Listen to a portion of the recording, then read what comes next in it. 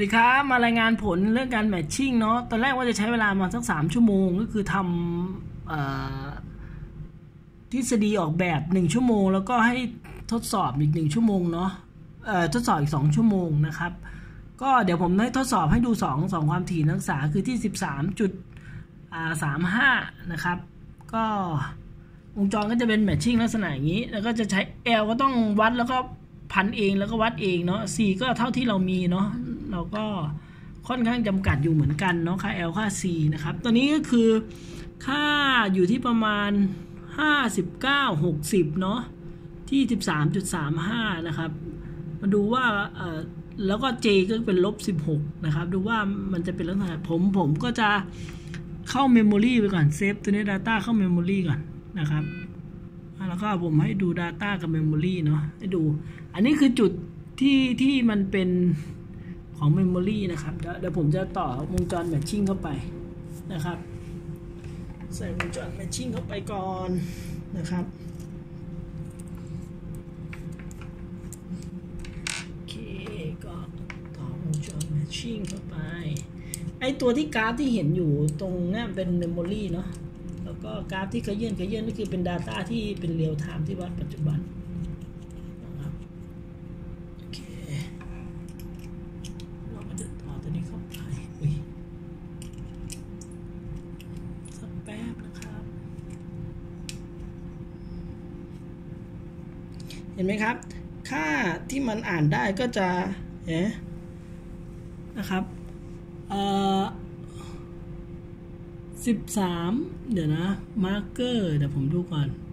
นะครับ marker สองนะครับก็คือไปสิบสามจุดสามห้า meg นะครับ ก็จะได้เห็นไหมครับ ไอ้ marker หนึ่งก็คือเป็น memory ก่อนหน้านี้แล้วก็ marker สองก็คือเป็นค่าที่เราวัดได้ ปัจจุบันคือได้ลบอ่าได้ห้าสิบสองโอห์มนะครับ แล้วก็ค่า J เป็นลบเจ็ดเนาะเพื่อความไม่งงผมจะ ที่เป็นเมมโมรีออกก่อนเอาเฉพาะ Data แล้วกันอ่านะครับจุด 2 คือจุดที่ที่ที่เราวัดนะครับ จุดที่เราวัด เราดูค่า VSWR ก็ได้นะครับดู VSWR นะครับได้ 1.16 เนาะได้ 1.16 นะครับ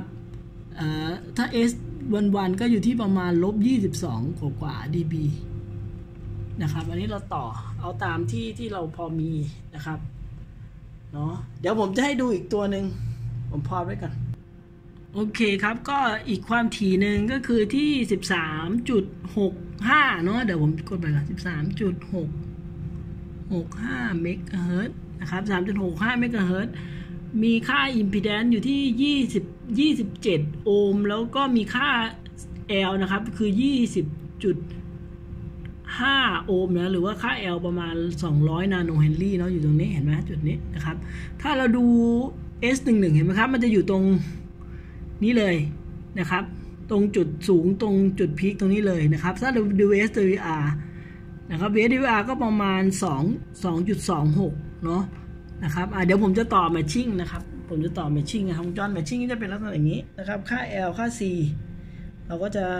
นั่นเองนะนะครับเดี๋ยวให้ดูเลย ว่ามันจะเป็นยังไงนะครับ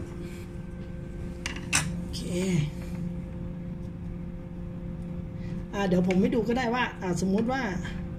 อันนี้เนาะเดี๋ยวผมจะเข้า memory ไว้ก่อน เก็บเข้า Data to Memory แล้วก็ Display Data and Memory เนาะนะ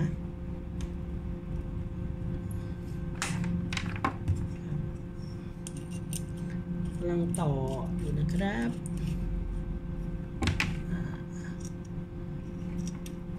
จำได้ไหมว่าจุดดั้งเดิมมันคือจุดพีคตรงกลางเห็นไหมเห็นไหมครับ พอเรา match เห็นไหมครับ มันก็ dip ลงตรงกลางเลยเห็นไหมพอเรา match เห็นไหมครับ พอเรา match เสร็จปุ๊บตรงเนี้ยนะครับ ตรงนี้นะครับ จุดเห็นไหม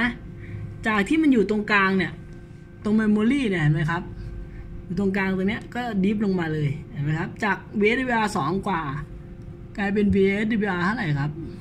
นะหนึ่งจุดหนึ่งห้านะครับ ถือว่าโอเคนะครับ หรือถ้าเราดู Smith chart โอเคมันถึงแม้มันจะ